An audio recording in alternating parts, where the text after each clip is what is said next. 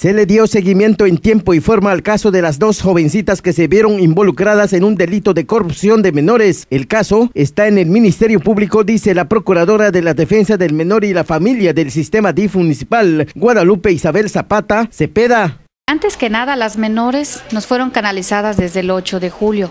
El 8 de julio fueron canalizadas a través del juez cívico por este por haberse escapado del domicilio. Una vez que llegan acá, aquí son este mm, llegan con sus con sus madres y a cada una se le hace una comparecencia. Es un acta compromiso de las menores y de sus mamás. Ahora, dentro de esta, dentro de la asesoría, ella nos comenta la corrupción de la que está viviendo una de ellas e inmediatamente son canalizadas en el Ministerio Público. Al día siguiente, el 9, este, ellos se presentaron las mamás junto con las menores en el Ministerio Público, interpusieron su denuncia.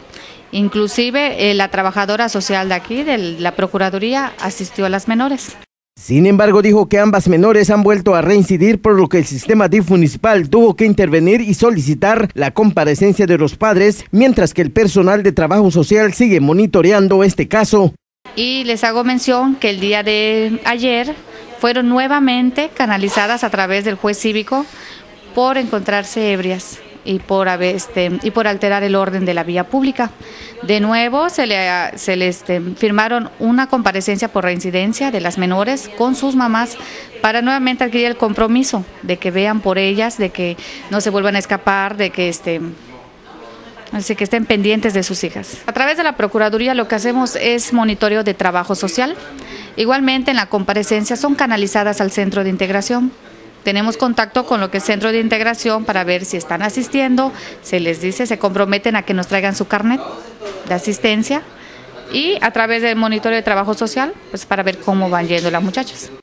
Zapata Cepeda explicó que mientras se investiga el caso de corrupción de menores por parte de las autoridades judiciales, los padres de familia tienen el compromiso de velar por la seguridad de ambas menores. No tanto sancionar, pero aquí el compromiso es de los padres. Ellos son los que tienen que velar por sus hijos. Más que nada por rebeldía, ellos son los que tienen que hacerse responsables de ellos.